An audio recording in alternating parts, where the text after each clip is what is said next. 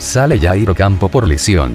Se confirma esta mala noticia. Pues como lo dijimos en el anterior video, Rosique anunció que Jairo Campo salió por lesión.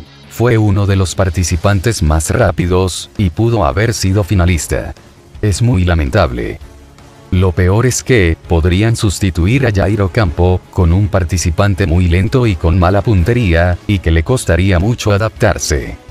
Aún así, increíblemente, el equipo de los rojos, lograron la victoria por la supervivencia, aprovechando que los azules estaban divididos por la acusación de Isabela Irving. El equipo de famosos, agarró coraje para ganar, y no perder a otro integrante más. Rosique anunció al competidor que hizo más puntos, fue Natalie. Y quien hizo menos puntos, fue Kenneth. Pero en esto, su equipo tiene la culpa por no ponerlo a participar.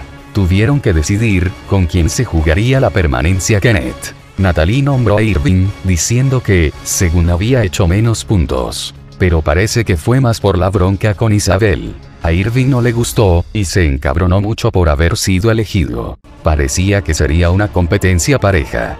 Pero Irving tuvo puntería. Kenneth estaba muy triste. Irving ganó, Kenneth no pudo ganarle en ninguna pasada a Irving. Tuvo que despedirse de su equipo y del hexatlón. Quedó eliminado. ¿Tú qué opinas? ¿Crees que fue injusto? ¿Crees que debió haber competido alguien en lugar de Irving?